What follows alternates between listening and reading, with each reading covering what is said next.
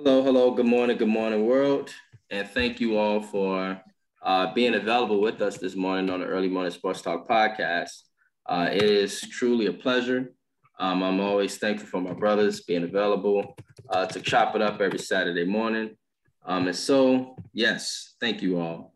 Uh, however, today is April 30th, uh, 2022, and we have yet again seen an interesting week in the sports world where, as example, we last night uh, got a chance to see the Chicago Bears uh, complete their draft, um, and we'll have some things to say about that.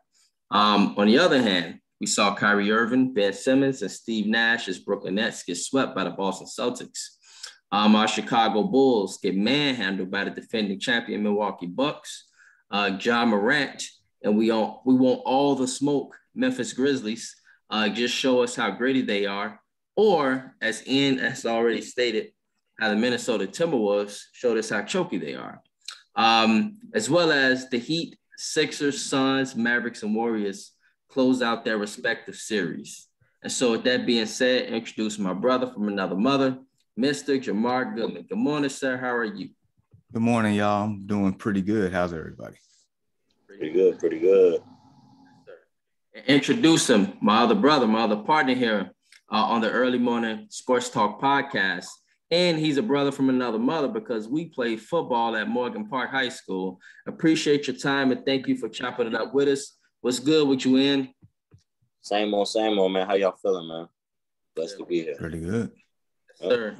And so, fellas, uh, let's start first with the Chicago Bears um, in the NFL draft. And so, uh, Jamar, see you with your shirt, bro. Um, I'm rocking a little bit of mine as well. And so, just curious, man. Like Bears, they picked the corner for the second round. Uh, they went ahead then and they picked the safety in the third round.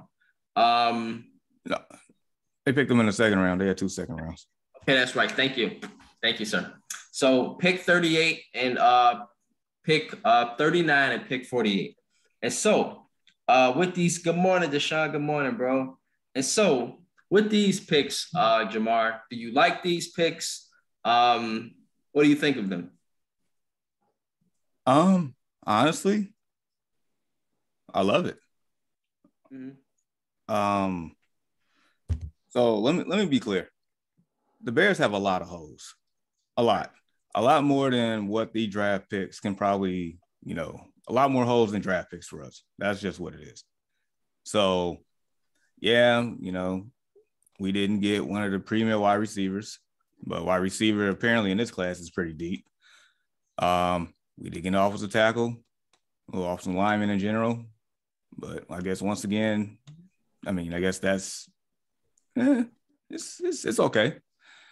Um, but I'm not gonna sit here and pretend like you know last season that Jaylon Johnson was the only defensive back out there playing.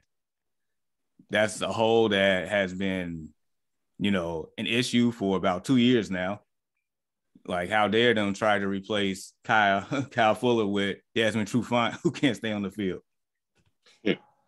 Like, so they gave him. man, but I'm still upset that they even like cut Fuller last year for cap casualties and kept Jimmy Graham, who who only played like five snaps last year. So, uh, no, I guess in all seriousness, um, no, they they they got a corner that that fits the scheme and looks like he's pretty darn good. So I'm happy there. They got a defense. They got an, a safety who I believe like can help us out a lot, especially since you know Eddie Jackson can't tackle or can't play. So I, I don't know. So Oof. Preach. I mean, yeah, uh, you know, Justin Fields probably needs a number one. Maybe maybe add some more O linemen in the future, but I mean, well, what's the point of having Justin Fields out there when the defense can't stop anybody? So the defense can get tired once again. So you you got to address, you know, big issues, and I feel like corner or defensive backs is probably the biggest issue, the biggest glaring issue out of all of them in the past two years. So, right. So I'm I'm actually I love it. got into, you know, a little spat on Twitter about it. But at the end, you know, they they realized that uh Poles is cleaning up a mess that Pace has made and I don't know, give Poles a chance to actually do his job. I mean, heck, he was a former lineman, so maybe he has something up his sleeve or evaluating things differently than than they have in the past. So we'll see what happens. Okay. Yep. And your thoughts, bro? Um, I mean, Jamar pretty pretty uh summed it up pretty good. Uh, we didn't we didn't really get any big name guys coming out of the draft. Like we didn't get a typical one of the big name receivers, but I mean, surprisingly, they all went. They all went early. What was it? Five receivers in the top twenty. Yeah, it was five receivers in the top Some, twenty. The one, yeah. the one receiver that went early that I thought the that probably could have slid to the Bears was Jahan Dotson, but he went 16 to the Commanders. I was I was really surprised. I mean, he's a he's a very good receiver out of Penn State, but I, I was very surprised about that. But you know, they got they addressed their needs. I mean, we're not gonna we're not just gonna build it build this team up with a couple two three players or a couple big names. So you know, I get it. I just been you know just been waiting to see how everything pans out during the season and you know how they put the roster together. I am still concerned that we typically don't have a number one receiver, but who knows? You know, the uh what's his name? Velus Jones. He could be a he could be a key contributor. Him and uh, Dy- uh him and Darnell Mooney could be a dynamic duo. So I mean we just got to wait and you know play things out. And typically players from the second to the seventh round are normally the guys that make up your team and that contribute the most. And some of them become stars. Like we've seen Tom Brady go in the sixth round and we've seen you know, other Hall of Famers going the second to, you know, seventh round. So, you know, we'll see. It's it's not gonna be an overnight thing. We haven't got any sexy picks. We haven't picked up, you know, in free agency. So, you know, they're just getting players that fit their scheme. And, you know, I'm just waiting back sitting. So, like he said, they address needs. And that was pretty good. You know, they got a safety because uh, I don't know, Eddie Jackson. To be honest, I think Eddie Jackson ain't focused ever since Eddie Jackson got that contract extension, he got that little money. He ain't been right since. He ain't he ain't been right since. So mm-hmm. um, I, I just don't think he focused. So uh, them getting the safety that early last night further lets me know that he don't do nothing this year. He might be on his way out of here.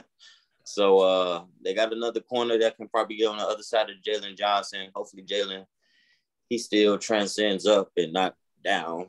Uh, um, yeah, I mean, it's gonna be real interesting to see how this how this defense plays and how they put the defense together. But um, I'm I'm just sitting back waiting. I'm I'm not you know I'm not mad at the picks. They they got some needs, so it was pretty good. Right, um, and I think you guys could see it on my face. Um, yeah. so with the Bears, guys, um, geez, geez, geez. So don't get me wrong. I like the first pick, Jamar. I like this kid uh, out of Washington. If y'all don't know, Washington got some ballers, and they they are like becoming a farm system for corners. Yeah, Washington University, University of Washington.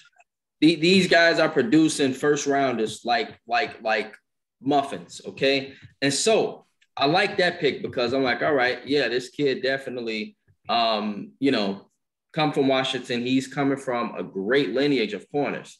Um, and so I like it, Jamar, because I think we all know on the podcast, this kid could be likely a day one starter opposite of Jaylon Johnson. And he can be the immediate contributor on special teams, right, Jamar? Uh, yeah. Run down, make some tackles. His 40 yard dash was a 4 5 2, so he got some explosive speed there. Um, for me, on the other hand, I can see the point of Jaquan Brisker out of Penn State. Um, and maybe it's because of Eddie Jackson uh, in, but I'm thinking maybe that Tashaun Gipson might not be the long term answer. And so they want to get somebody there um, as insurance just in case Tashaun Gipson, whom has been hurt, um, is not available, or Eddie Jackson. and so, like, we are really not, let's say, balanced at that position. Um, but one thing I do find very interesting, fellas, is with Ryan Poles being a former lineman, with us wanting to secure our future with uh, Justin Fields and trying to protect him, I just was expecting the Bears to go after an offensive lineman, um, and they did not do that. Um, surprisingly enough, they did not even do that in the third round. Um, and so I know last year we got, uh, you know, offensive line help, and unfortunately the kid got injured out of USC. Um, so hopefully we'll have him back. But I still was expecting us to try to, um, you know, let's say go after a guard or somebody because if I recall, Jamar, we lost James Daniels this year, right? And so with us losing an offensive lineman, I was hoping we would go after that position, not necessarily a safety. Um, but you know, I can see you guys' point. Um, we are very, very uh, needy at a bunch of positions, and so it totally makes sense. Um, on the other hand, let's get to this uh, third rounder, y'all. And I'm excited about him, y'all. And the reason why I say that is, uh, and, and don't get me wrong, y'all. Uh, this kid out of Penn State can play football. So expect a physical football player. Um, Velus Jones Jr., wide receiver out of Tennessee. Um, he is a great athlete. Um, he's meaty, y'all. He's a kind of thick wide receiver. And I got a chance, y'all, to meet Darnell Mooney last night. And Ian, Darnell Mooney is about your size. I um, know. joking. This brother got to be no more than six feet, something like that. He probably like 180 wet. 170, 180. Skinny kid, not thick. I'm sitting there like, wow, this is our go-to receiver. Really? Seriously? and so I was very, very happy when they made this pick. And I think people in the stadium was kind of like, like, okay, we kind of get somebody that um, can kind of be an Anquan Boldinish type. Um, it was uh, you know, you know, the two commentators, guys, I, I can't remember these guys' names, but they are often on um, Chicago Sportsnet. And they were there and they compared him to Deebo. I'm like, wow. But they they compared this guy to Deebo they compared him to Anquan Boldin. Um, and, and, they stated that he could actually be very special on special teams. And so I'm like, all right. They state he can serve as a deep threat. He can start at the kick and punt returner. Um, he still got development, but he's a speedy, speedy deep threat. And he's not afraid of that contact. They say he liked that smoke. And so I'm like, all right, I like that type of player in this type of uh, weather in Chicago. Um, and hopefully uh, this kid can come in and he can contribute um, in a variety of different ways. And so um, I'm, I'm a little upset, y'all, that we didn't address the offensive line. But Jamar, and I see you guys' point. We got a lot of needs we need to address. It, it's way, way, way bigger than just the offensive line. And so, with that being said, kind of puts me at a perspective like, all right, you know, uh, we got a bunch of needs we need to address, so we just got to address them. And so here we are, y'all. Um, on the other hand, just want to know, Jamar, um, out of let's say these various teams, y'all, that have made their draft picks, um, which team y'all think made a splash or had a good day one and day two uh, within the draft? That's easy. I know what y'all. Uh, go ahead, Jim. Go ahead. You want to go? Go ahead. Yeah, bro. go ahead, Ian. Yeah, yeah, I'll go ahead. Uh, I think my number one team that had the biggest splash was the Jets. They got, um, typically they probably got the best point. Well, I don't know if he's the best point out the draft, but he's one of the best points out the draft. Uh, Sauce Gardner. Then they came back with the 10th pick and got Garrett Wilson, is arguably the best receiver out the draft. Um, and then they got a probably a, probably their biggest deal was Jermaine Johnson, um, the DN from Florida State. So um, that was three first round picks. I think they uh, I think they drafted pretty well, and they got a running back in the second round, I believe, from um, Iowa State. He's pretty good. So they've been drafting pretty well. So um, those guys can go over there contribute. Um, there's no no excuses for Zach Wilson this year. Interesting, man. Um, one thing I state, um, and I see now, um, is Iowa State is low key becoming a factory for running backs too. And yeah. So, yeah. They might got a good one out of Iowa State for sure. Because I remember that kid. He he could play. Yeah, so, he can run. Yeah. Jamar. Man.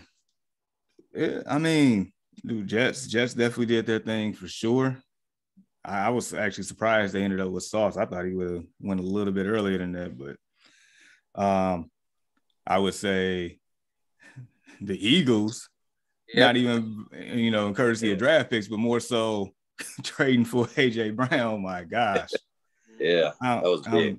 I'm, I'm, still in in awe on that one. Um, I would say probably uh the Baltimore Ravens. I would say the Ravens. But okay, go ahead. And yeah, I, I get the you know got rid of Hollywood Brown, and that was the the initial shock of the draft.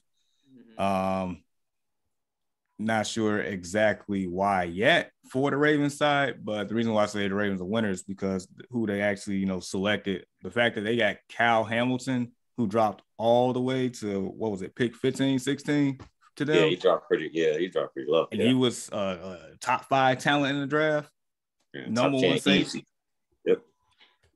for that to happen, and then end up with David uh, Ojabo um, and Travis Jones. Like, I don't know. It's just something about the Ravens to where they they just find themselves in good position to make key picks that just turns out the pan that just you know they the Ravens in general just make good picks like almost like all the time.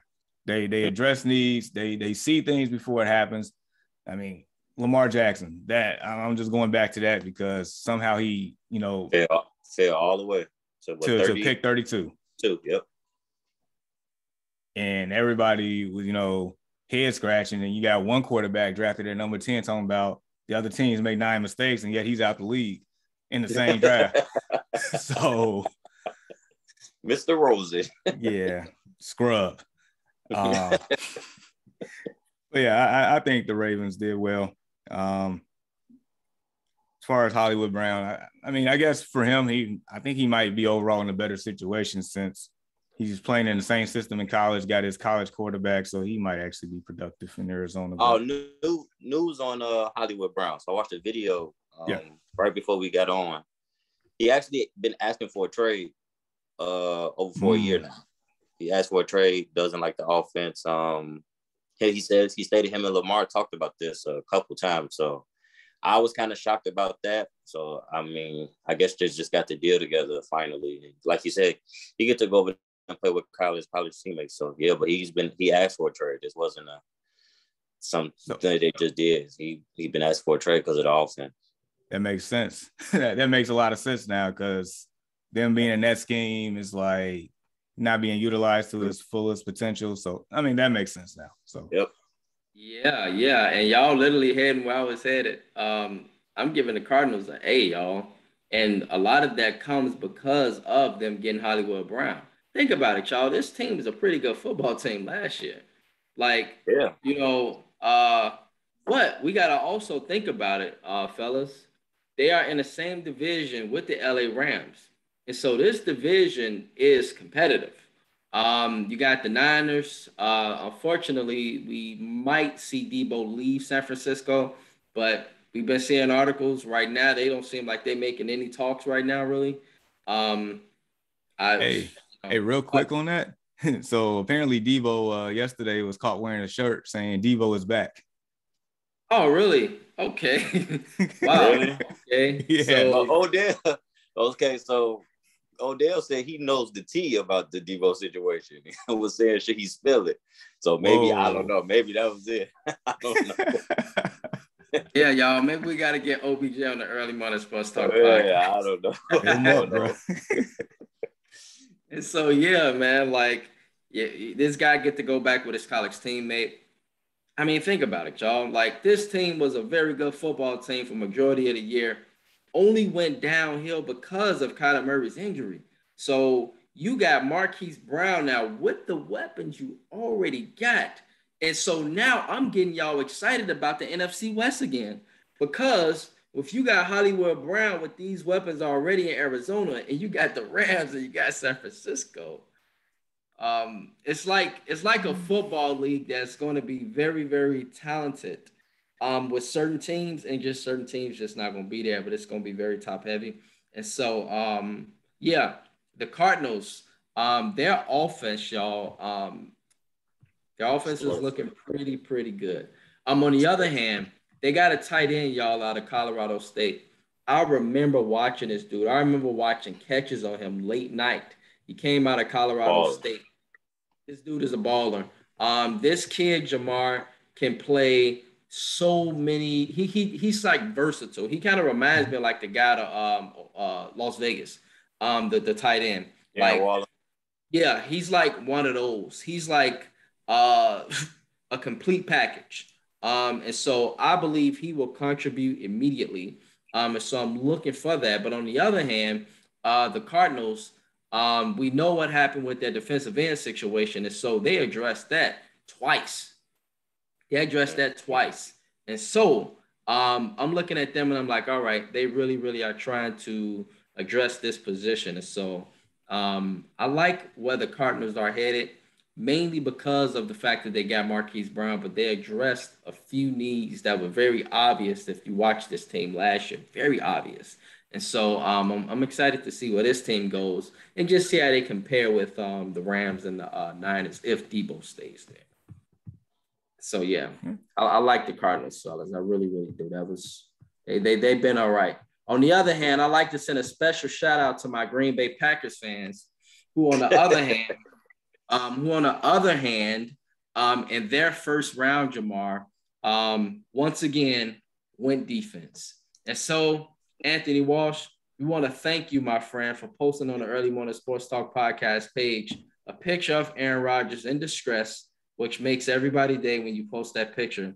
On the other hand, we want to thank you for reminding us that Green Bay just continues to be Green Bay and um, you know, might do good in the regular season when playoffs come. Yeah, down the drain. so yeah, um, yep. All righty, fellas.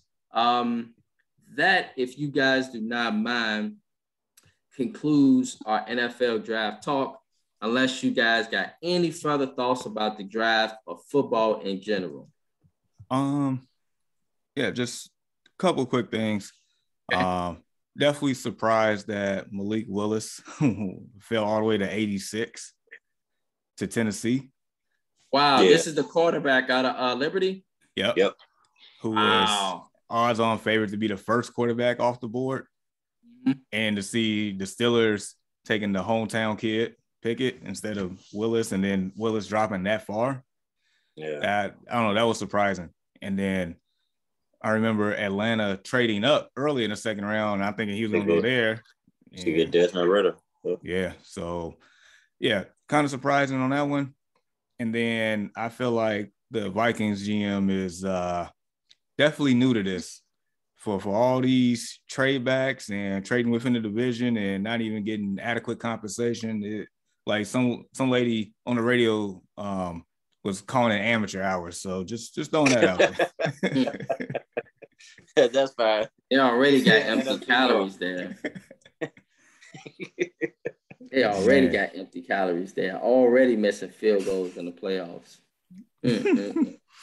now you know what? As a Bears fan, I totally do not mind amateur hours with Minnesota. You keep being an amateur up there in Minnesota because we could totally, we could totally benefit from it. Exactly yeah. Uh, on the other hand, we hope Detroit uh, keeps being Detroit. Um, and so, yeah, they got two pretty um, good two picks too. They had some nice picks, didn't yeah. they? But yeah. it's the thing, y'all, with the Lions. It's like, geez, like it's the co- I think it's just the culture. It's like it's no matter who they get, they got the most talented team, and they just still gonna find a way to be the Detroit Lion. It's toxic. organization, man what can I say? But you know, they got Aidan Hutchinson, y'all, and yeah, uh, hopefully that kid can come around and he can change some things within that culture. We will see. Um, yeah, and shout out to Georgia, y'all. Um, they got some grown men. and those grown men got drafted. Um, Georgia uh, was all over the board. Of course, the SEC is all over the board, but Georgia definitely was all over the board. Those guys from the defensive side of the ball, um, and so they got picked. Um, shout out to Ohio State and um, and their wide receivers. Uh, we, we recall watching this team last year and us talking about them, right? Like, man, they are explosive on offense, explosive. And so they they got guys off the boards, and they gonna got they gonna have more coming off the boards because oh yeah yeah got, they got some other ones, man, that's um developing like Marvin Harrison Jr. and stuff. And so like these guys can play, and so yeah, we will uh definitely be looking forward to Ohio State on the college football scene. Uh, but you know they're producing a lot of NFL talent as well, and so yes, all right, fellas, uh, let's get into the NBA playoffs. Uh, we uh, have now concluded our first round series, y'all.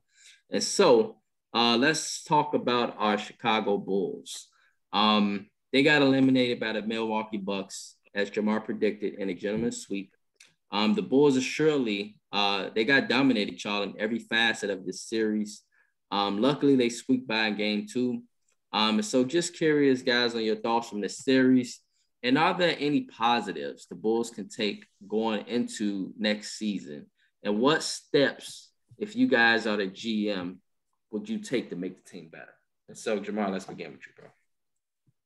All right. So, you know, also the series, I feel like the first two games, like, you know, the first half of the Bulls season, like that type of team showed up. They actually, you know, played hard and, you know, didn't let didn't let uh they let go of the pedal. They definitely you can see they were outmatched overall in the series, talent wise and scheme wise and everything else. But you know, they they fought um, and had a lot of pride in those first two games, and actually snuck away with the second one. First one, it seemed like Milwaukee was gift wrapping it to them. They just couldn't take it. But outside of that, it went downhill quickly. Um, you know, I'll say this: at least we didn't get swept least we didn't have, you know, the, arguably the best player in the world on our team and got swept. Uh, at least we ain't got, you know, a guy that, you know, doesn't want to play games on our team and just watches it getting swept. Um, I'm just, you know, just throwing that out there.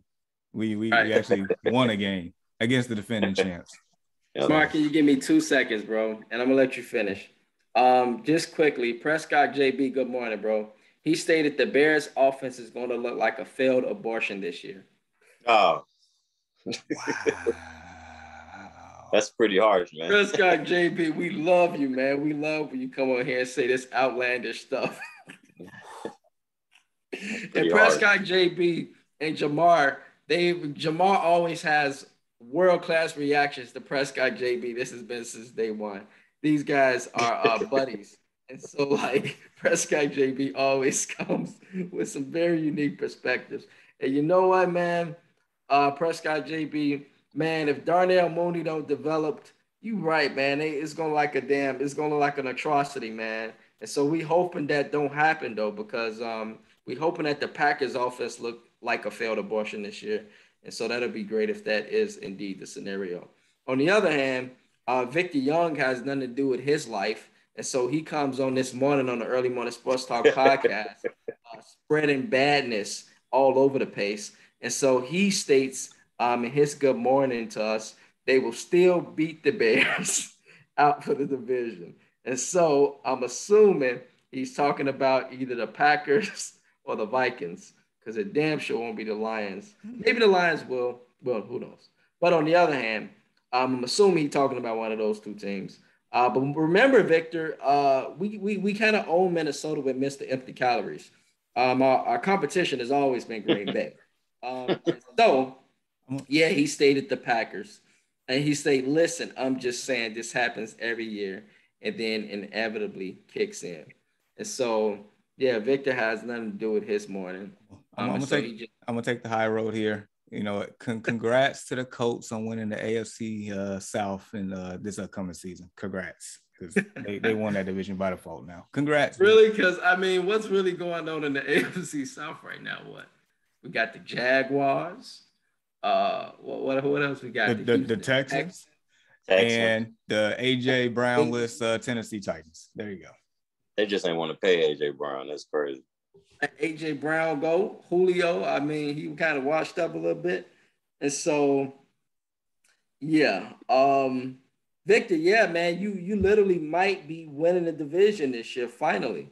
And so uh hopefully you guys won't choke though, because you choked last year. It was really, really bad. Like you guys were supposed to go to the playoffs and you choked really bad. And so um, hopefully that doesn't happen this year, man. Okay. Um, so hopefully you guys don't choke, all right? Um, yeah. So on the other hand, he stated, I don't strong arm, LOL, it's not a lock. And so, um, yeah, I'm, I'm not exactly sure what Victor means on that, but um, yeah, regardless of the fact, man, um, we, we appreciate you chopping it up with us. And um, yeah, man, good luck to your coach, man. Uh, Jamar stated that you guys won the AFC South by default. That's on paper, though. That's on paper.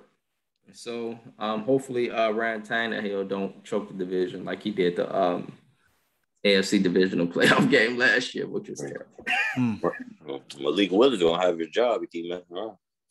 I'm telling you, man. I'm telling you because you know he he gonna come in with a chip on his shoulder too. Like really, like really, y'all put me at 86, 86 when I was like all on the pre-draft boards everywhere, like people like expecting me to be a first rounder, and I dropped to 86.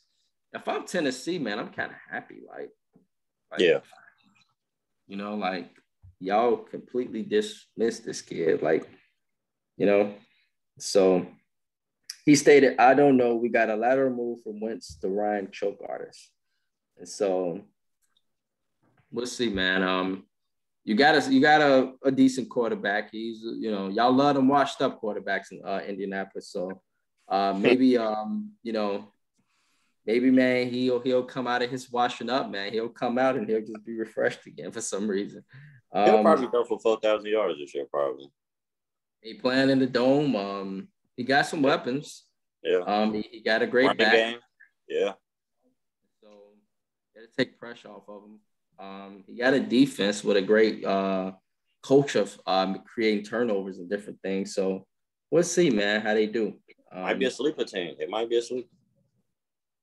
They might. They might. And so yeah. Um, on the other hand, Jamar, um, I'm sorry, my brother, uh, but you were talking about our Chicago Bulls, and so I need you to play GM, bro. Uh, what would you do to make this team better? what positives can you take going into next season? And just what's your thoughts on this series?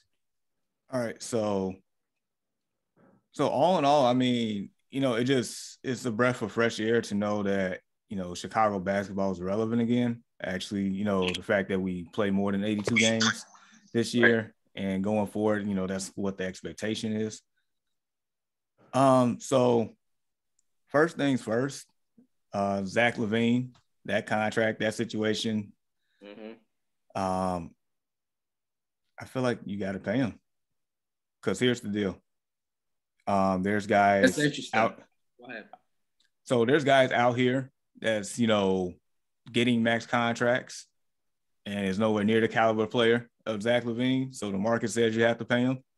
And in the event that you don't pay him, well, we're gonna sign and trade him for for parts that's not equal value. So that's what's going to happen. You're going to end up getting. There's a rumor that the Bears, I mean not the Bears, the Bulls would uh sign and trade them to to Dallas for uh Powell, Finney Smith, and somebody else. Like, what what what are we supposed to do with that? Mm-hmm. So, so, that's what I'm saying. Like, you're not gonna get equal value. When the last time you you've seen equal value in NBA trade with a star player? Never. So, and he's proved that he can be second fiddle to DeRozan and still don't miss a beat with his numbers. He can still be productive. So I feel like you have to pay him. Second, you need to address the interior presence of your team. Vooch, you've been nice. You actually played a little bit better than I thought you did in this series. You you didn't let those tall trees, you know, really bother you as much as I thought. But at the end of the day, you you you can't you can't cover you can't cover a bid. Um, can't protect the rim. Um, we, I feel like his days are numbered.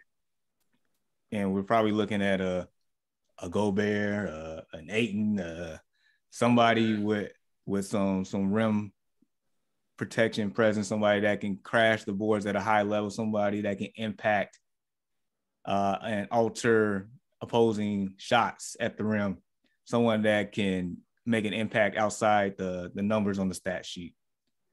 Because yeah, he can score, but we have other guys that can score, and his scoring, what the other guy scoring doesn't really move the needle. What moves the needle is somebody that can actually play defense at the rim.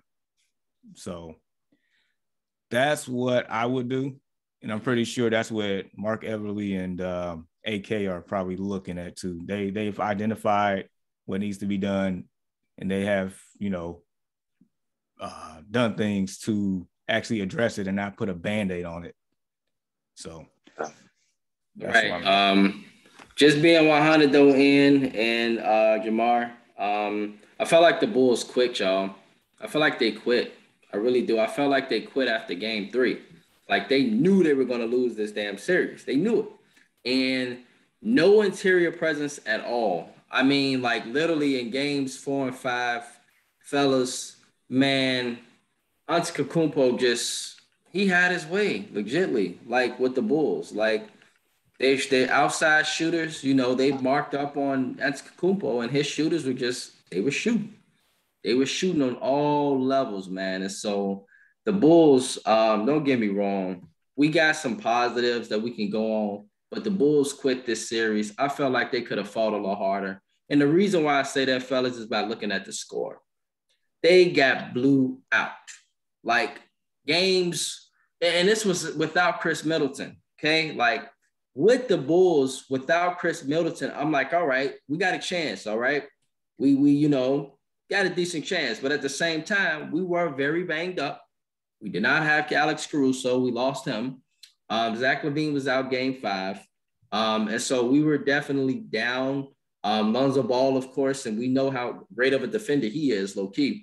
Um, and so part of it is when I say the positive, fellas, my positive going into next year is what Ian or and Jamar been saying all year is we need a healthy roster. And so with the healthy roster, hopefully, um, and a big that can defend down low, that would help us become the team we think and know that we can become. And so that's just where I'm at with the Bulls. I just felt like they knew they didn't have a chance. But Ian, go ahead, bro. Um, a couple things with the Bulls. So, number one, injuries. I mean, I think they talked about it on TNT. I mean, before early in the season, we were we were number one in the East. I mean, we were playing pretty fucking great. And then uh what after the after the All Star break, we I don't think we I don't even think we went 500. So we dropped all the way from one to six, and you know that's with injuries, multiple people out. Uh, what LaVine was out uh, for a minute here. Uh, even DeMar caught COVID or something at one point. Uh, and then we lost Lonzo for the season. Patrick Williams before the season even started. Then he came back later. Um, He's a positive for sure. Yeah. And then we lost Lonzo for the rest of the year. So it's just it's been injuries after injuries after injuries. It it just this is the story of the season. Like even the last game, like you just stated, we didn't have uh we didn't have LaVine. Caruso got hurt, you know, so it that's just been the story of the season. I mean, and that's pretty damn good for us to be first and we end up sixth and we still make the playoffs. So I mean, we're not that bad of a team. Um, so I like I was telling uh like I was telling Terrence the other day, I would like for us to run it back to I would like for us to run it back with the same team but healthy. As long as we can stay healthy with Lonzo, Caruso, DeMar, even LaVine. Um, I would like for them to run it back and see how we, you know, how we play healthy, and, you know, with more experience. Um, we do need to work on uh, low post presence. Um, so here's the thing with Vooch. Uh, he like like Jamar stated, he played he played aggressive during this. Yeah, during this series. Yeah, more aggressive than he's ever that I've ever seen him. So I was like he knew we was talking about him, like he knew it. Yeah. So I wasn't typically I wasn't typically mad at Vooch. He didn't shoot well. But um, he played typically more aggressive than he's normally played, so I wasn't mad at that. If they don't trade Vooch or move him, I would like for them to get another big man that could contribute off the bench. Like, and Tristan Thompson is cool, like defensive wise, for just a big body to take up some space, but they need somebody to kind of score too. Like, I wouldn't even be mad if they got a guy like, even though I know they're not going to get him, but like like a guy like DeMarcus Cousins. Like the other night we played the Warriors, um, he came in and gave him what 16 or 18 off the bench. Like that would help us a lot. A lot. That's facts, bro. Because our backup big man, they don't do nothing. Yeah. So that, I, mean, I say was... nothing, Jamar, they don't do nothing. I'm like, man, they suck. Like, how are they in the NBA? Like, for real? Like, who is this number yeah. seven uh, guy? Number seven, he just sucks. And yeah. then the backup center behind Vooch, he sucks even worse. Like, I'm like, yeah, seriously, like really, seriously. Like they get in the game and the teams just go ham when they go, like, it's time to eat. Let's just eat. Like, mm-hmm. so I mean, we just gotta we just gotta step up a low post presence. Um, another thing that I'm concerned about, well, two more things I'm concerned about. Uh, Billy Donovan's offense. I'm not a big fan of his uh pick and roll offense with the Bulls. The Bulls offense is pretty much predictable. Is LaVine get the ball, bring the ball down, or I guess this was just without Lonzo. I guess when when we're not running, I don't right. like offense. It's uh uh DeMar get the ball or LaVine get the ball. Here come the big man, come set a pick. Everybody else get the fuck out of the way and we're gonna play one on one ball. Like that's right. not that's not gonna get us far in the playoffs as we've seen. Uh, yeah. and then that leaves us open for people to they're gonna blitz, they ain't gonna do nothing but blitz, double team DeMar, blitz DeMar, get the ball out of his hand for LaVine, whoever, get, whoever has the high hand. So that's not gonna work. So I don't know what Billy Donovan got to do, but that ain't gonna work because then we'll be number one in the East, number two, number three, and we gonna get we gonna get bounced in the first round again. So that ain't gonna work. Mm. Um, LaVine. So that's they, that's where I was going. You taking the words out of my mouth, LaVine, because yeah. So LaVine, would I pay LaVine two hundred million? I don't know. That's a tough one because I don't. I don't know. That's a tough one. I mean, two hundred. I don't. I don't. I don't think. I don't. To be honest, me personally, I don't think he's worth two hundred million. But but I want him to stay. Yeah, I mean, yeah, of course. But um, because he's, I mean, he's younger than DeMar. But DeMar DeRozan is what 32. He's like around our age, 32. So, I mean, I would keep him, but would I pay him 200 million? I don't know. I I don't know. I don't think he's worth 200 million, but he has a ceiling. Like he kind of, I don't know if you know us having DeMar kind of, I don't know. He kind of got kind of weird at the end of the season. He I don't know. Um, I don't want to trade. I don't want to trade him. I don't want to lose him, but I don't want us to trade him like Jamar said. I don't want us to trade him for somebody that's not even close to worth his talent. So then we'll take then we'll take a step back. You know, so I will hope they keep or, man, 200 I mean, million, 200 million that's that's Devin Booker or uh Jokic, that um he, he ain't like there that. yet. Yeah, he's not there yet. He could be. I'm not saying that he couldn't. He could be, but 200 million for LaVine. Oof, that's, that's it's like he, he's not far off in regards yeah. to to Talent impact. Yeah. yeah, he's not.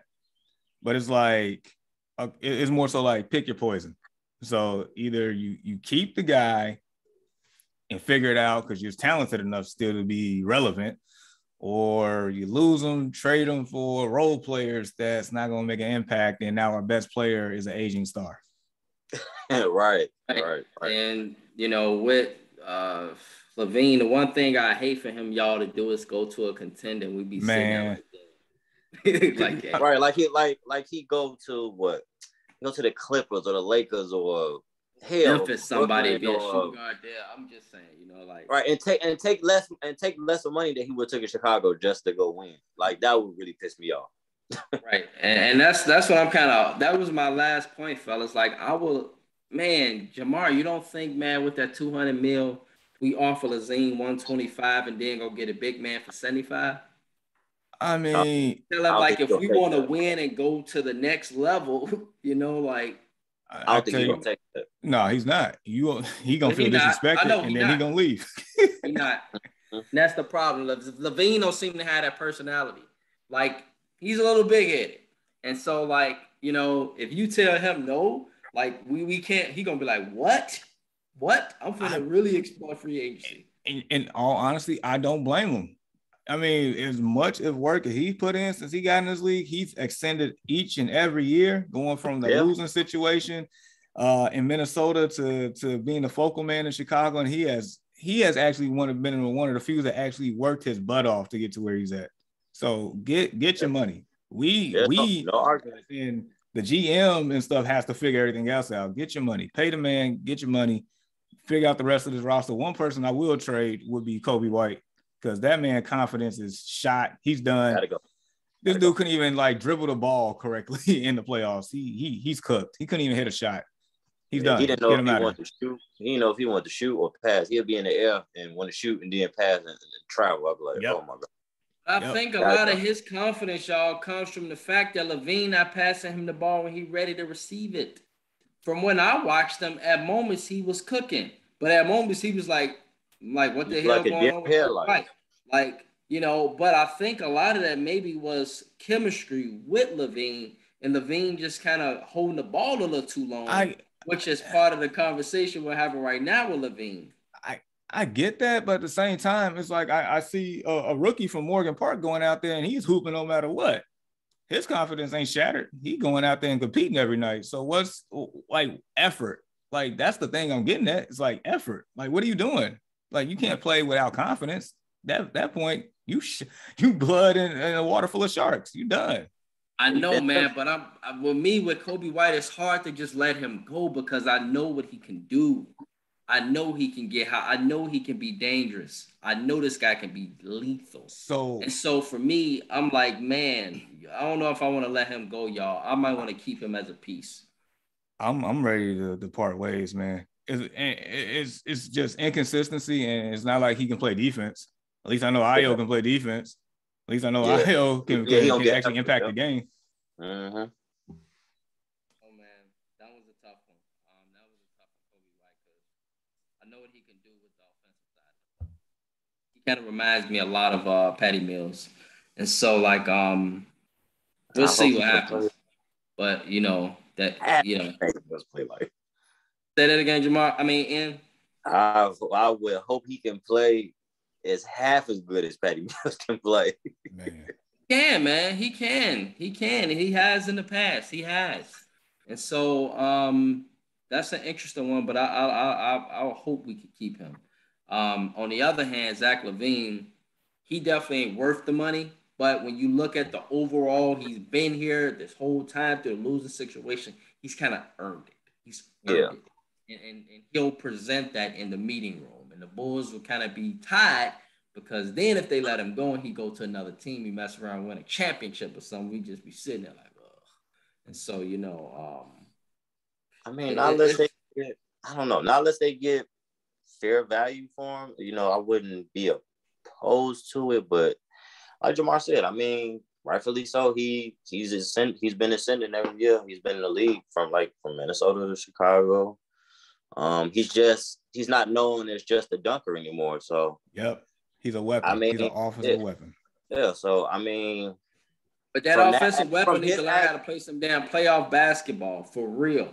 yeah, I mean, and I'll be aspect- I'll be evaluating him off of playoff basketball too, not just against the um, Detroit Pistons, but what you gonna do against the Bucks? What you gonna do against Mhm. uh, the Heat? What you gonna do against those big teams when the game slows down and they really really get into you? To to to be fair, I mean that's a fair point. But to be fair, this was his first playoff experience, so let's see what happens next year. yeah, Yeah, why I said we'll- let's just run it back. We'll definitely see what happens next year. Um, and so unfortunately though, the Bulls gotta pay him this offseason. So I mean, I guess in that case, you, you gotta pay him because if you don't, you won't know because he'll probably be somewhere else in another team. And so, um, yeah, the Bulls are tied definitely in a tough spot with that situation. On the other hand, fellas, let's get into some of these other series because we've definitely talked Chicago this morning. Um, the Bulls and Bears I took up an hour of our time, and I don't mind. And so, on the other hand, though, uh, the Dallas Mavericks um, took care of the Utah Jazz. Okay, fellas, and although they put up a fight, the Jazz yet again, they have come up short in playoff basketball. And so, Jamar, if you're the GM of this franchise, what next steps are you taking to make this team better? Man, like I'm conflicted because it's like, I mean, obviously the writing's on the wall. Like, you do not run this back no more. It's it's it's over. You don't do it. Like, I, I get they've been, you know, relevant, I guess, in their you know three or four year window here, but they peaked last season being the number one team and getting put down in the second round. That that's when they peaked. So, you know, either either you're gonna trade Gobert, which is probably more likely, or you're gonna get rid of Mitchell, which I don't see that happening, especially with that being a small market team. And at the end of the day, you got to put butts in seats, and that's what he does. So yeah, you you can probably have to trade Gobert. You can probably have to revamp a lot of this roster. I know uh your buddy Dominique McKinney, um, he he stated quite a few times to me that you know, outside of Donovan Mitchell, I mean, the only other person that really get the own shot is Jordan Clarkson.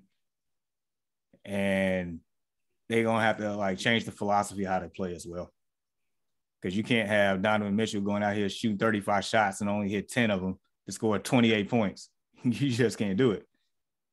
Yeah, yeah. Let me ask you this, Jamar. Is Mike Conley's contract a bad contract? It feels like it, right? because he was brought in to, you know, take pressure off of Mitchell, for him not, you know, always dominating the ball. Mike Conley is supposed to come in, you know, be a floor general, run the offense, play some defense. And it seemed like everything I just said, he did none of the above. Don't do it. At all. He he was a no-show in these playoffs. No show.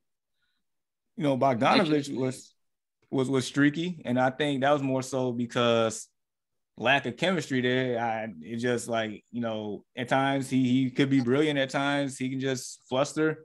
And I guess it goes back to your point about Coby White and LaVine. You know, when Donovan Mitchell has the ball all the time, it's like it's hard to get a rhythm, right? Yep. So I feel like that's what happened with Bogdanovich. You know, Royce O'Neale's in your starting lineup, but you know, we have games when he only scored two points, it's like you need more out of that from your starters. Right. Um, Rudy Gay, for whatever reason, didn't even see the court. And I feel like he could have been more contributor than Mike Conley and whoever else they had in that lineup at the time. Um, Hassan Whiteside, Hassan Whiteside. So we're just gonna leave that as what it is. so I mean, washed up. like Miami got the best out of that man for those two years, and that was it. So that was it.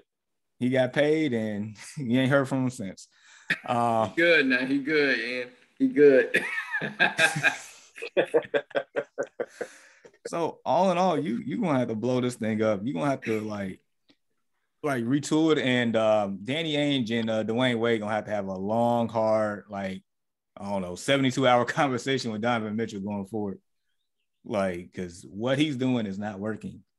He's forcing it. He's not trusting right. his teammates. It's just it just looks bad.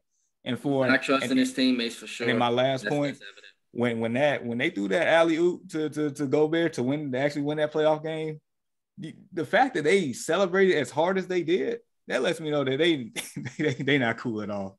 They, they never really done that before, dude. That was like crazy between after that play happened and then at the end of the game, dude. They was like, you you you must have thought it was two Patrick Beverleys out there.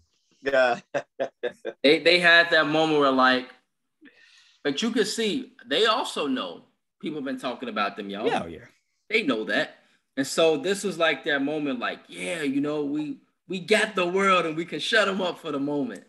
But the thing is, we're not gonna shut up and if that's only a two-two series, and yeah. then you come back and you lose the next two. It's not relevant because you didn't win the series.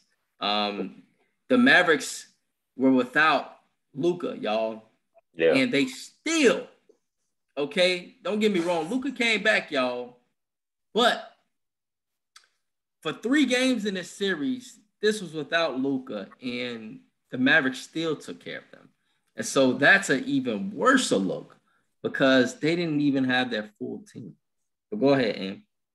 Uh, it's time to blow it up in Utah. It's so with. Um, the one person I think uh that deserves his credit for this series is Jalen Brunson. He showed up in a major way. He showed up in a major way, kept them in the series. Guy. Mm-hmm. Yep, and kept them in the series. And um, Luka came back and they handle business. I mean, Donovan Mitchell, when I see him play, he takes a lot of um, he takes a lot of ill-advised shots. Um, they don't have like Jamar said, they don't have no chemistry. Him and uh, Rudy Gobert. Pretty to to be honest, it seems like ever since um ever since Rudy Gobert uh started like the COVID started, I don't think they've been cool since then. That's just my opinion from the outside looking in. That's a good point, bro. Facts. Mm-hmm. They haven't been cool. They haven't been cool since then. I don't. I don't know. Maybe he felt like he did it on purpose or something. Yeah, because Donovan I mean, did get cold. But that's nothing you can really do on purpose. So I don't know. But it just seemed like ever since then they just been. It's just yeah. been. It's just been a relationship. So, and it's pretty much affected the team. So, it's time to blow it up. Like Jamar said, they'll probably they'll probably trade uh they'll probably trade Gobert. Yeah. Um I mean they they could trade Donovan Mitchell, but I mean Donovan Mitchell he has to his shot selection got to get better. Um his three point shooting got to get better because he'll he'll take 10 threes. He'll be nine for 17. He'll have like 25 points, but he'll be two for seven from the three point. Like that's come on, bro stop shooting so many threes. Like you're not a three point shooter. You're not Steph Curry. You're not one of those guys, bro. And he's a good player. I'm not saying that he's not a good player. He's a, he's a, he's a damn good player, but shot selection just got to get better. And like I said, Mike Conley, he was I don't know what the hell he was at this series. Um, maybe he's aging. I don't know. uh, it's just time to blow it up. I think they, like Jamar said, they had their peak. I think that's it. I think it's just I think it's just that time. But yeah, like ever since ever since he got COVID or COVID started happening, they just been they haven't been the same. I don't know. Maybe he felt like Rudy Gobert started COVID or something. I don't know. Rudy Gobert started. I mean, in a way, he did.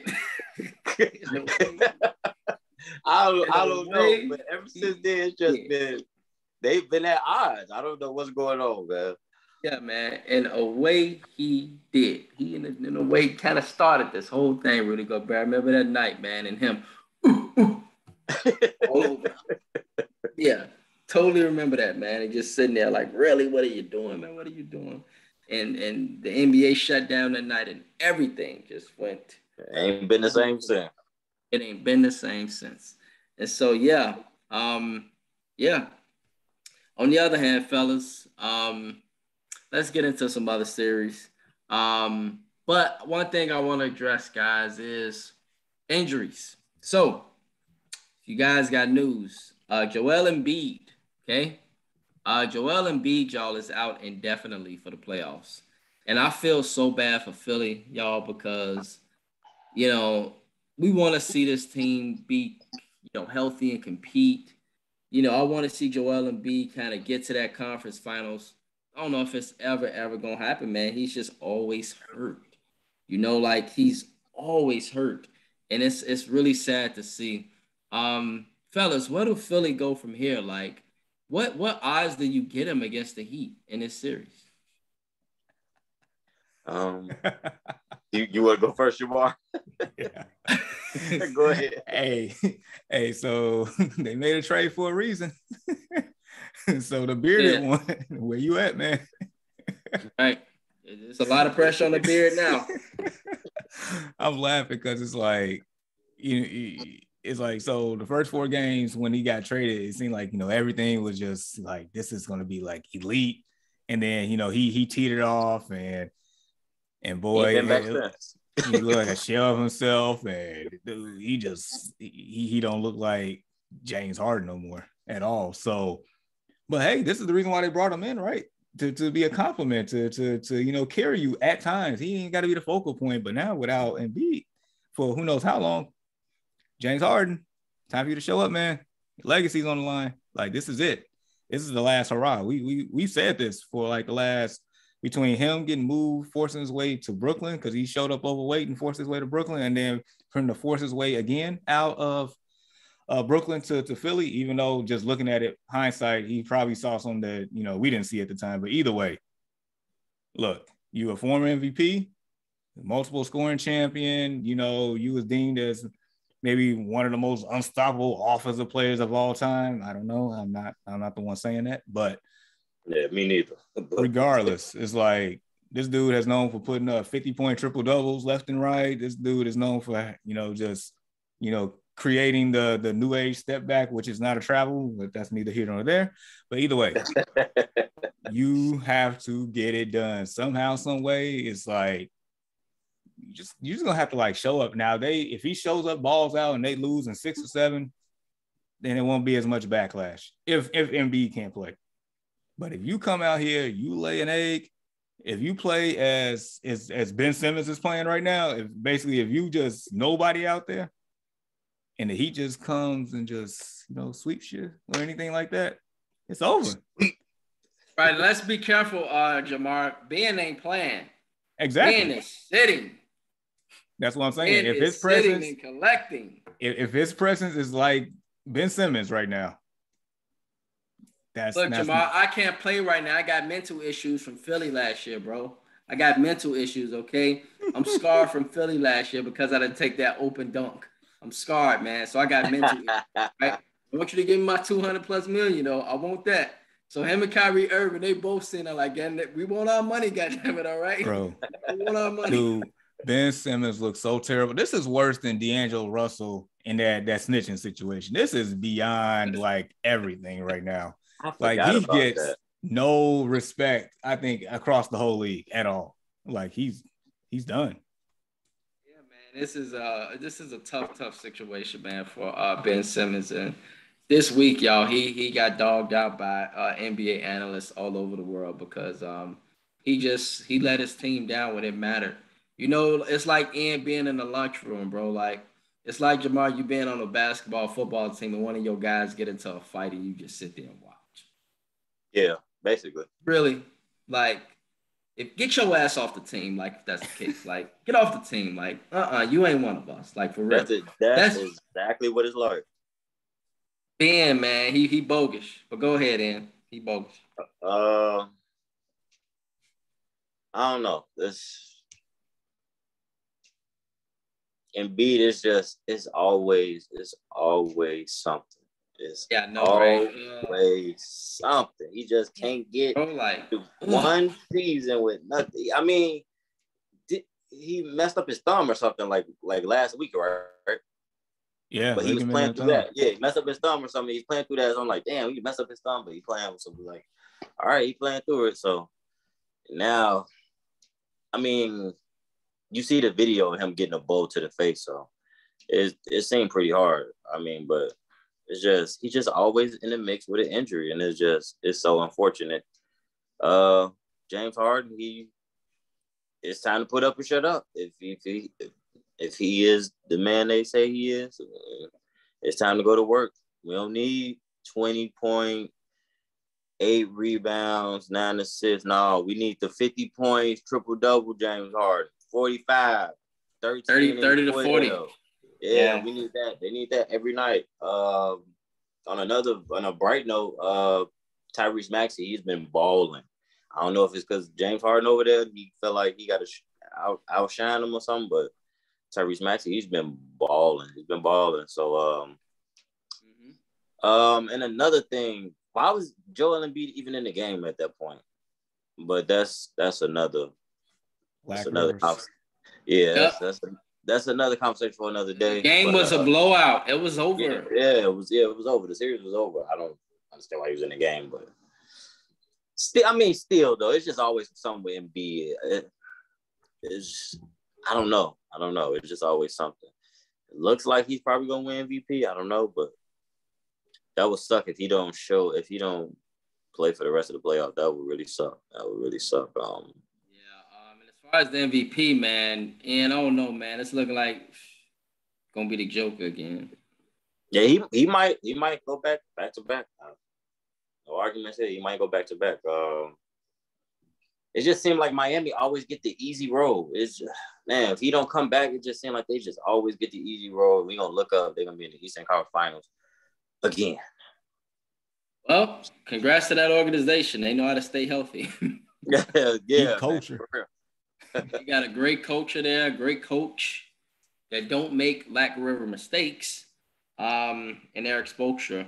And so that's what you have. That's what you have. On the other hand, speaking of the second round, fellas, we got some series, y'all. We got the Grizzlies and the Warriors. Okay. That starts tomorrow. Golden State is going down to Memphis. And Memphis has had a tough time uh, with Golden State. So, guys, in a few words, we need to make picks with these series. So, Jamar, Golden State, Memphis. What you got, bro? I got Golden State in six. Okay. In Golden State in five. Ja Morant has not been playing good this whole playoff. I'm so disappointed in Minnesota. Golden State He's been playing in the fourth quarter. He's been playing in the fourth quarter against the Timberwolves. And the Timberwolves, the reason why they lost, we all know if we watch the series. Karl Anthony Towns ain't that dude. He is not that dude. Nah, I wouldn't Like, say that. so damn inconsistent. It's ridiculous. It's most. And I never got a chance to see it until now. Somebody was saying that like last week. Maybe Jamar made a post on it, but I began to see it really like, like Like It's mo- foul trouble. He can't get no mo- Go ahead, Jamar. Go ahead, John. no, go ahead, you. Uh, it's multiple things with Minnesota. They pissed me off so bad last night. Oh my god. Uh, so for instance, last night they were up. They had a good defensive. They had a good defensive possession. They blocked uh Memphis shot like two, two, three times, almost like four times. Yeah, Brandon Um, Clarke, the dude, a beast though. He'd be all over the boards, the, the energizer. Uh-huh. Yeah. So they, so they, so they blocked their shot. So then they come down. The crowd is going crazy. It's in the fourth quarter. Crowd's in the uproar. And the coach comes and calls a timeout and messes up the momentum. I'm like, why would you call a timeout and mess up the momentum? So then they come out the timeout. Karl Anthony Towns shoots an ill-advised three. He bricks. Dumb three pointer. I mean a dumb three. Oh, Yeah. Then uh then Memphis goes down. They score. Karl Anthony Towns comes down again. He shoots an even farther three. Like, what are y'all Right. doing? bro, that was the three. Yeah, he shot it from the damn logo. I'm like, cat. What and look, it was about 19 seconds on the shot clock. Right. I'm like, what are y'all doing? I'm like, and Ja Morant, and I like Ja Morant, great player, but I think we kind of we kind of jumping the gun on Ja Morant. He hasn't played good all series. He, they didn't. They, They shut him down. At, at home. Yeah. He, I mean, he played. So the last game we hit the winning. Uh, we hit the winning Layup. layup. That was Anthony Edwards' fault. Why would you gamble? Why would you gamble in that in that uh in that possession on the on try to take a steal? Well, you just could have kept him in front of you. You know what I'm saying? Make him Right. take a jump shot. He's not a he's not a great jump shooter. Uh, he took a terrible three last night. He almost didn't even hit the rim. He's not a great jump shooter. I will make him shoot. If I'm the Warriors, I will make him shoot. You're not going to the basket. You can shoot all game. I don't care. Yeah. Or he can get his. But the reason the reason they won that series was those other guys. They have shooters. The They're young, other they're- guys, thank you. Yeah, the other absolutely- guys won that series on top of Minnesota helping them. Minnesota helped them. Minnesota made so many ill-advised mistakes from coaching mistakes. Coaching. They could not contain Brandon Clarke, Jamar to save their lives. That man was all over them like Jumanji. That dude is, and for me, like me watching how Brandon Clarke play is so irritating. it, it, it is, and, And it- he moves so slow, but for whatever reason, they just couldn't guard him. I just don't get it. And Dominique was the one who who first pointed out Cat, and I and then, then a couple of days later, I doubled down on it. Like this man is so talented, but yet so garbage at the same time. You can tell he, I, yeah, he he's he's not that guy. And I feel like this series will go as far as Karl Anthony Towns go. because I know Anthony Edwards was going to do everything in his power to make it work. I mean, he had a couple mistakes, but for the most part, he's the main reason why they was even relevant. Mhm. And, and the funniest thing is, from the optics, the Timberwolves looked like the better team in the series. They did. They were. They gave the series away. They literally gave it away. You guys can win. What They gave the series away. three- They gave it away. three games where they had double digit leads in the fourth quarter? Yep. They did. They gave the series away. Just gave it to them. You know, like fourth quarter, like Memphis, like I think they just knew game six, y'all. Like they done did this three times already. Like pretty much um game one, they were up, y'all remember? Game four, they choked epically. Game five, they gave up the lead. And by the time game six hit, they like, yeah, this is a third double digit lead. They gonna choke it again. Minnesota game- just go ahead. The only game they, the only game they beat them was only game Memphis truly beat them was game two. Yeah, All and other- that was basically Yeah, they beat the end of the second quarter to the to the rest of the game. That was Right. it. Other than that, Yeah, this Minnesota. should, the series should have been four. The series should have been four one. yep. could have been easily 4-1, 4-2 Minnesota. Mm-hmm. Like i- if, And- they wouldn't have choked, if, if the we- coach wouldn't have gave away the games, like It, it was really Yeah. bad. and we would have been talking about we would have been asking how was the Grizzlies really overrated this year? We, we would have been talking all about that. Is Ja Morant really a top player? We would have been talking all about that. But instead, Right. And and the question is, I mean, I kind of still want to ask that damn question because either Minnesota was that good or Memphis is just lucked up because Golden State got hurt.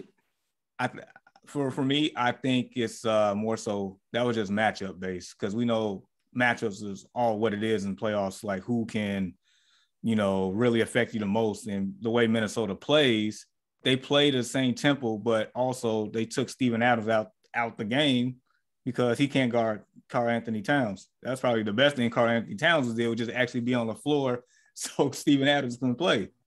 Right. Um, I was getting in believe- I believe uh, Memphis is actually uh, is going to give Golden State some fits, but I think ultimately Golden State gonna win. That's why I gave them a six because it seems like Memphis actually matches up well for the most part Yeah. against the Warriors. Mhm. But the X factor is is uh, Jordan Poole. So Right. Yeah. Um and and who did you you pick Golden State and how many? Five? five. Yeah, I got five. Yeah, Memphis, man. Um, no disrespect to Memphis. Um, but you know, for them to have the fight they had against Minnesota, don't get me wrong, Minnesota, up and coming team. But you know, it was a lot of things Minnesota did better than them this series, other than the fourth quarter, and that is a big alarm. And so um, I'm definitely going with Golden State. I'm gonna go with Golden State in six, but I think it will be a fight a little bit. Um, on the other hand, fellas, um, we got another Western Conference series. Uh, Phoenix, they played a New Orleans team, y'all, that kind of raised some eyebrows for real. Uh, this New Orleans team is scrappy, y'all. They are talented. And I'm here to tell y'all, folks better stop sleeping on Brandon Ingram. The dude is a hooper. And this was his coming out party, Jamar. He kind of Fuck, he go- reminded me of like a, a, a baby KD almost. Like the dude get his spots and he can go off on 40 with you, period. Mhm. And so, New Orleans, um, it was uh, stated this week, y'all, that uh, Zion Williamson he is more than ready to sign that contract. And so, um, we was talking about this yesterday. I think somebody stated that uh, Zion needs to uh, hire a chef, um, and so he can keep his weight intact and different things in his body. Man. Um, yeah, somebody called him Fat Man, etc. That, was- that, that was me. so with Fat Man uh in, like this team, I think got a bright future, y'all. Was y'all impressed by New Orleans? Uh, I wouldn't say impressed. I mean, they have they have the talent. Like it's there. Brandon Ingram, you know, he he can he can get a bucket. I mean, You kind of expected this. yeah, I think he I think he showed us that last year when he left the Lakers. He he can get a bucket. You know, that's why he got the big contract. So um, he can go. I mean, he can get a bucket from anywhere on the court. Um, you know, CJ McCollum, same thing. He can get a bucket. he got playoff experience. Uh, they have a very underrated coach in Willie Green. Very underrated coach in Willie Green. Um, this is his first run, and I think it's gonna be one of many. Yeah. So uh, they got a couple pieces over there. You know, the um, I forget the guy's name with the long hair, the point guard, number fifteen. Oh, uh, Jose Alvarado. Yeah, Mr. Yeah, uh, yeah, he was he yeah. was ticking off Chris Paul, but he is a little mini mouse. That dude gonna be a problem.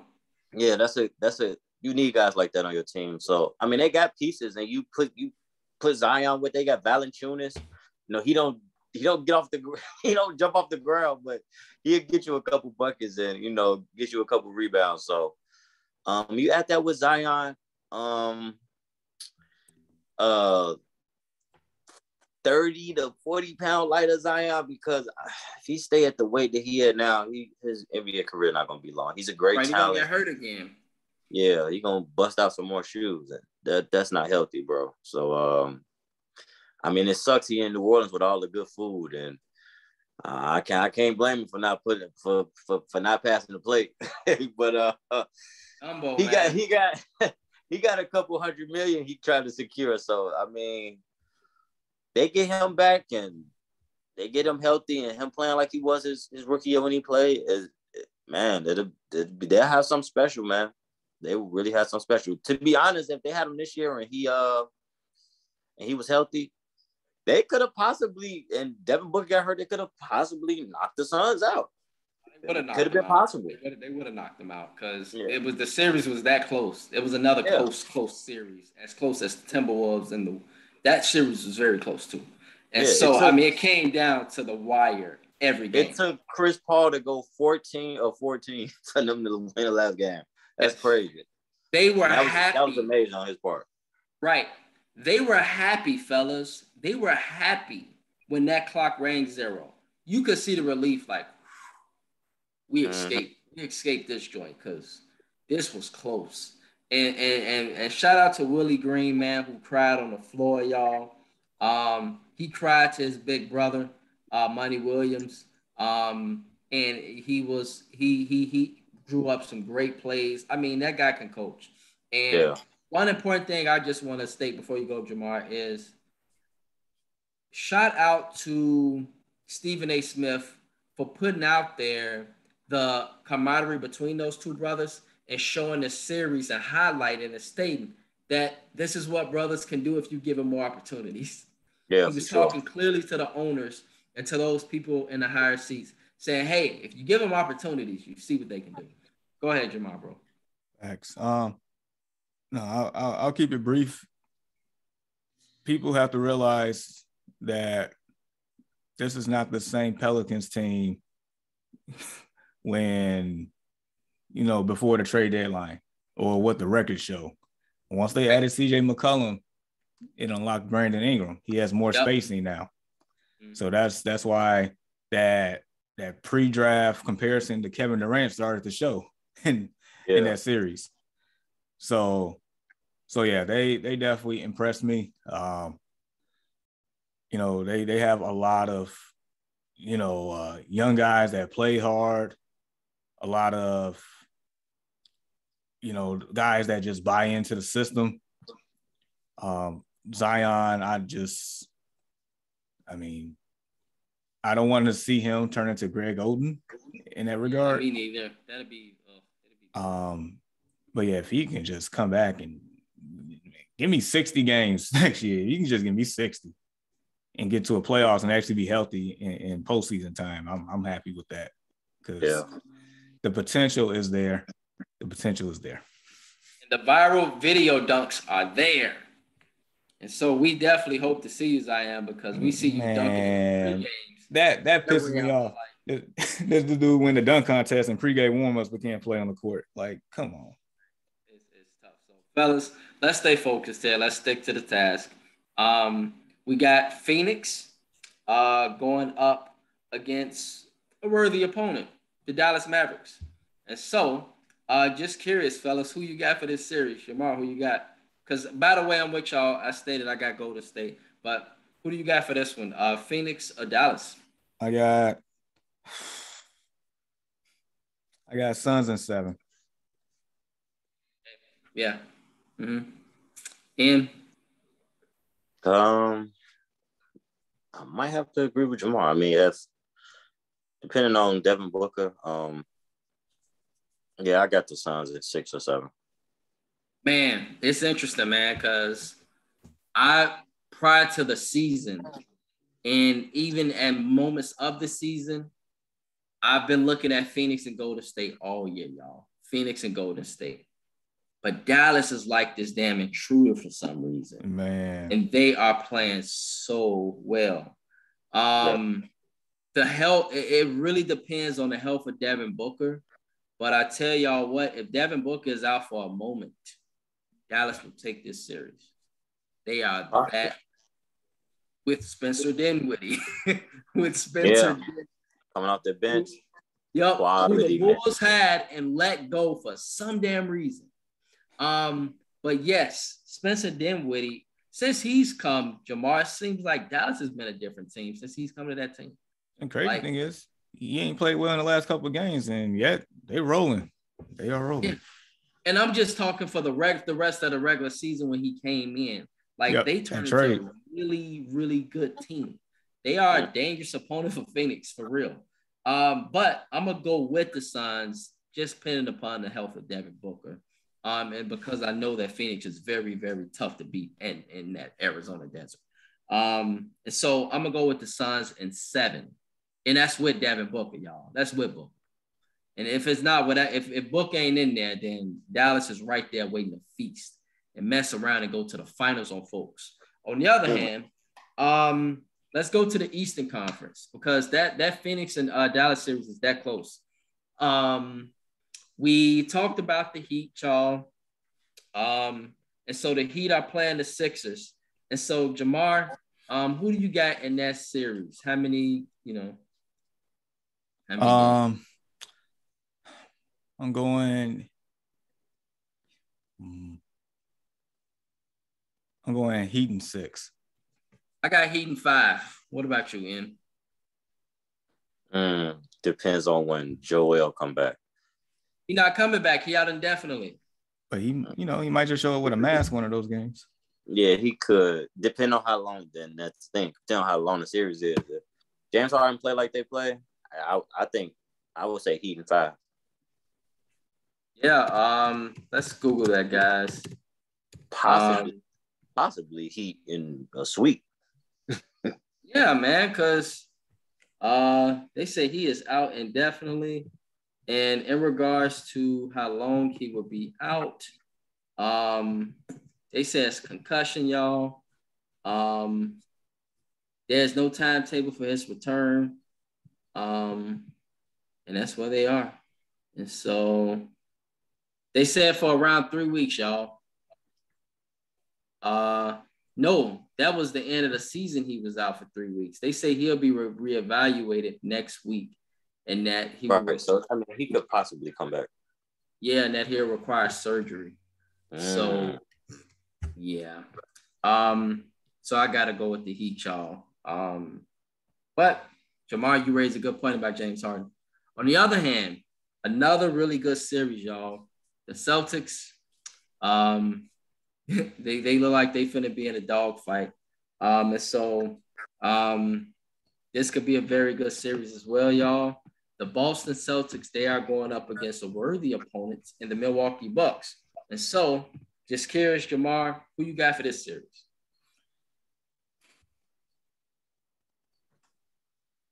Bucks and six. Okay. Ooh. Go ahead. Go ahead, in. Bucks and six. So I was. I'm Boston. I'll let Giannis get his.